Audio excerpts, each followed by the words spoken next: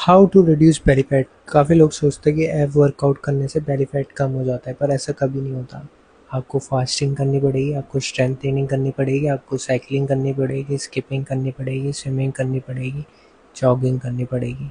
इससे आपका belly fat ज़्यादा से ज़्यादा जाएगा, और सिर्फ़ बेली फैट बेली फैट नहीं जाता, पूरी की पूरी बॉडी का फैट जाता है।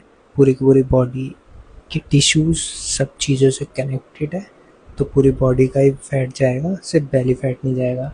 सेकेंड वर्कआउट आप पिक्चर में दे सकते हैं एफ़ वर्कआउट ये कोर एंड मसल्स की स्ट्रेंथ इंक्रीज होता है। अगर आप ये कंटिन्यू करते तो आपकी स्ट्रेंथनिंग बढ़ेगी और आपका फैट नहीं जा सकता, सिर्फ़ स्ट्रेंथनिंग बढ़ेगी।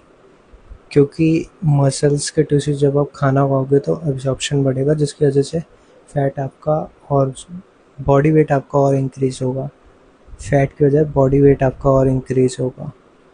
अगर आप कैलरी सही डाइट लेते हैं तो इससे फैट वेट लॉस नहीं होता।